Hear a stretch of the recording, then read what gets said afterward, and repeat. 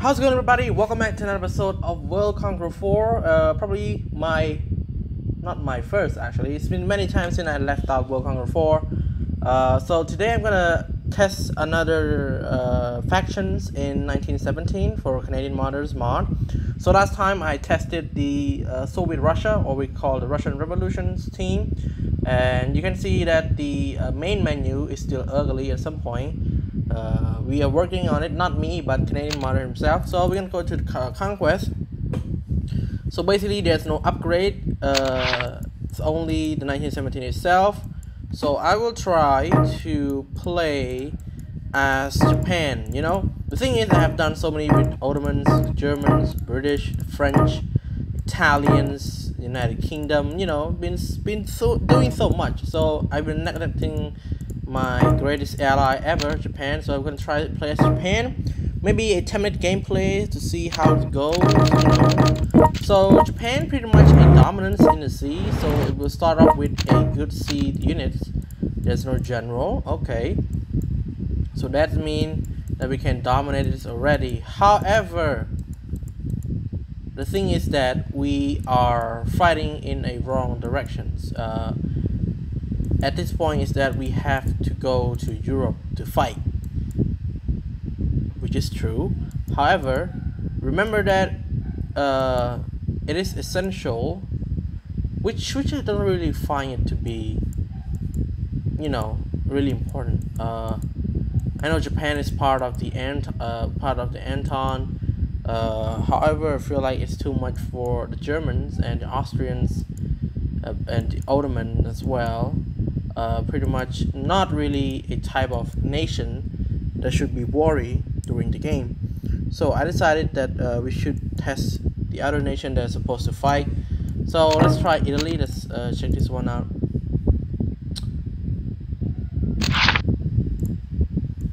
Okay, so I did so with Russia and I skipped Japan because it's too easy. Uh, sending so much troop into Europe with just Japan and China, they're gonna win automatically. Uh, gotta play as Italy, so let's try Italy. Kingdom Italy level 3.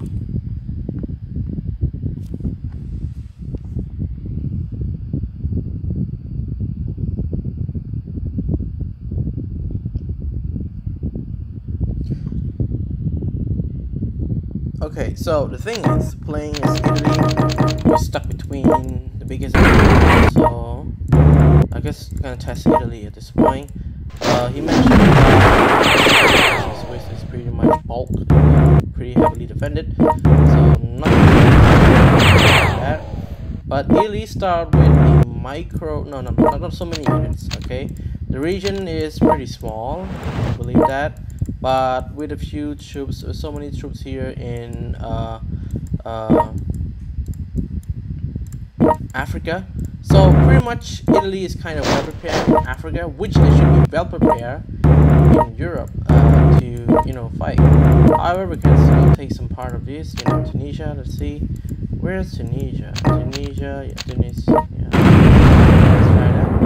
Okay, pretty good. So, only thing that we can do is that we expand the Italian Empire at this point. Yeah.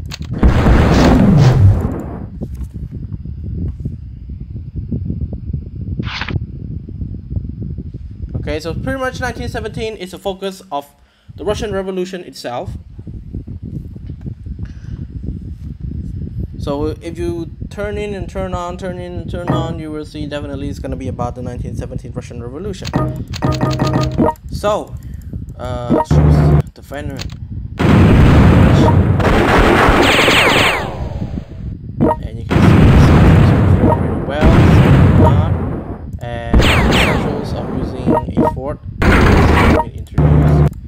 Pretty good by the way. However, I still want to use the high level Howitzer, which does a lot of damage and pivotal as well.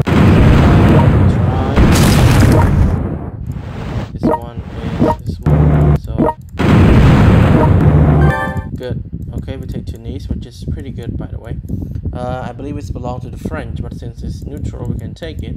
So Italy start with uh, a decent unit actually, but we do have the Germans in Africa, so we need to rely on that. So yeah, we can try, we can test the German Empire later on on this one if you guys really want. But keep in mind that I might not be able to test full gameplays because uh, this mod has a some sort of so pretty much if you guys migrated that it will definitely if you guys play the game and if you guys exit the game definitely it's gonna be removed or restored by the mod itself. So yeah pretty much like that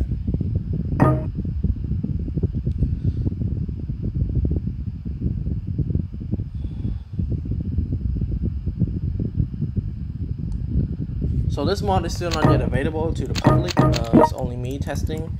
Uh, Canadian modder. He only just asked about uh, the but uh, I kind of forget. So I'm gonna try to test this right now. See, see so many textures.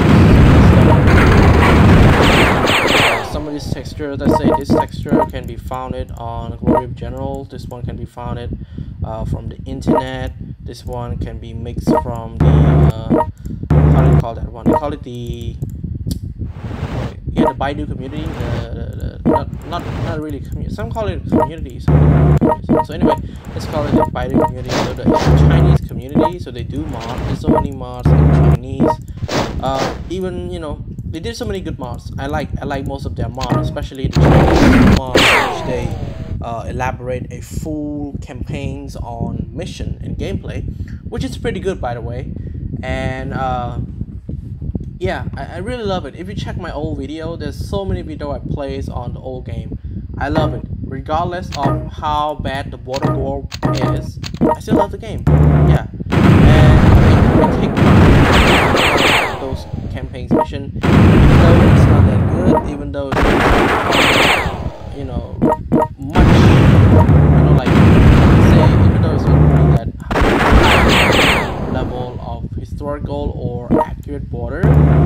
kind of find it pretty good by the way, comparing to decent, uh, comparing to the new game from EasyTech.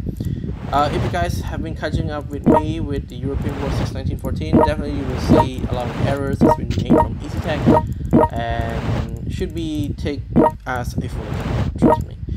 Pretty much not really uh, a fan of what EasyTech has been doing, even though it's fun, even though it's good, be considered as a World War One game, which they didn't call it World War One, they call it the 1914. So European War 1914, uh, pretty much they didn't fully functional in the terms of World War One, but they kind of fully functional in the words European War 6, which according to their franchise, they call it the 1914 itself. So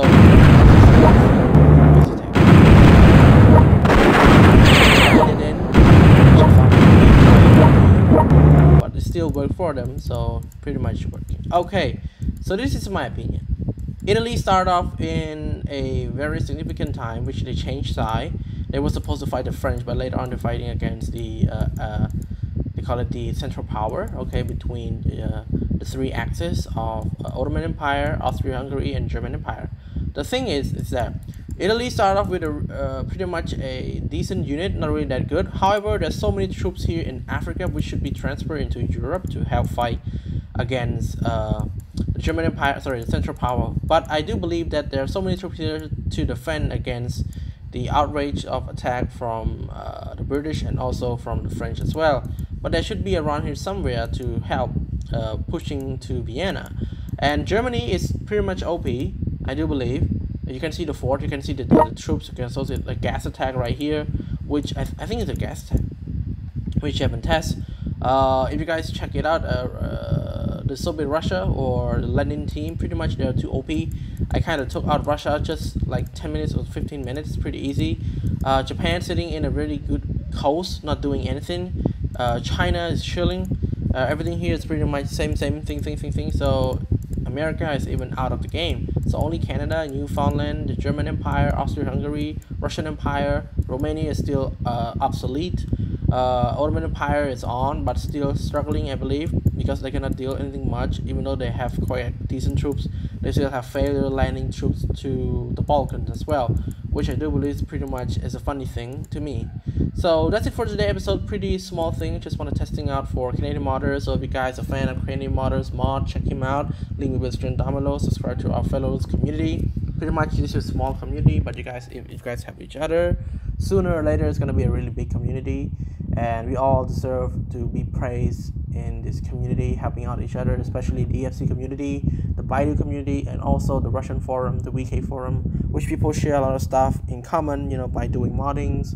Uh, so many great modders like uh, the Conqueror, Canadian modders, Will War mods, uh, Valentine, uh, BJ Blazkowicz, you know, uh, Mora Andre, Erebus. Erebus one of uh, probably the creative guy I ever seen. You know, he kind of released all all of the level of the uh, uh, generals in World Conqueror 4, which to the maximum around 100 generals, 200 generals. Yeah, pretty much that's a good thing, by the way.